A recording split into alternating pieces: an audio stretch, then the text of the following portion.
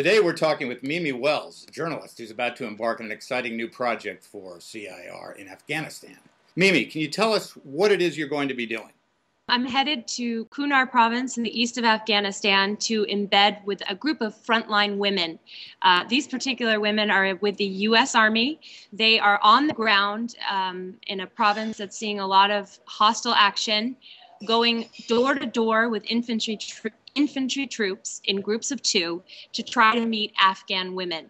Um, the thinking being that if these women can uh, make connections and engage the Afghan women in these villages, that perhaps some of the seeds can be sown to gain some ground in the war.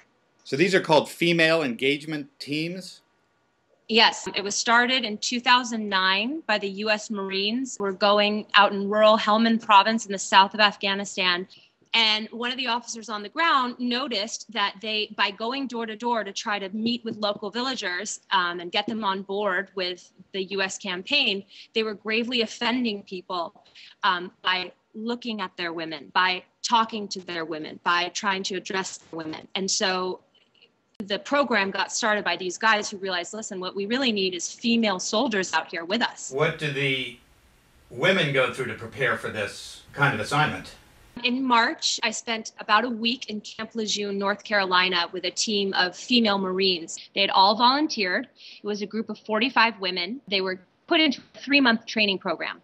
And that included um, some basic Pashto lessons. They had um, a lot of combat training because these women were tasked with being on the ground in a place where there's a war um, and going out with male infantry. So they had a lot of um, shooting practice, drills. The training was quite rigorous. The physical training that I saw, I wasn't incredibly impressed with the with the fitness of the women. They had a physical fitness test, um, a basic marine fitness test, and not all of the women passed. Um, which is, of course, a danger when you're talking about going on 10, 12, 13 mile day long foot patrols in 100 degree heat. But all the women were dedicated and their families had put a lot on the line so that they could go out there and do this job. You're, you do not have a military background yourself. Uh, no. What prompted you to be interested in this story? These women are making a huge sacrifice. You know, the American women, their families, and, and the Afghan women too. It's a huge security risk for them to accept and deal with American women. I think it's an important story, and Americans need to know about it.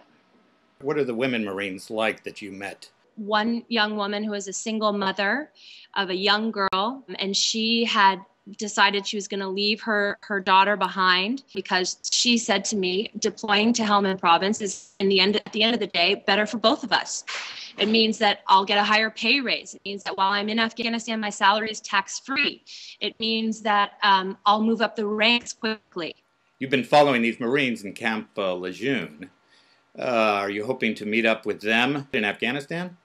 I am joining a different female engagement team that is being put together by the Army. I don't know the women that I'm going to meet, but I know the terrain and the territory. So it's a strategically important area for success in Afghanistan. And the women are very important um, because they are a major part of the, the so-called Hearts and Mind campaign. You're going to a pretty dangerous part of Afghanistan, really at the front lines. What did you do to prepare for your deployment? Where I'm talking to you guys currently, I am in Georgia taking a hostile environment training course. And it's five days of intensive medical training, safety awareness, how to deal with riots, um, and simulated exercises. I think it's the closest simulation to war that I can get without actually being there. So you're you're now uh, days away from leaving. Uh, how do you feel? I, am in a state of uh, emotional flux. I'm having the ups and the downs. That's certainly understandable. We are just really looking forward to hearing from you, Mimi, as you get out there in the field. But I look forward to talking to you guys again when I'm on the ground and just taking you with me on this journey.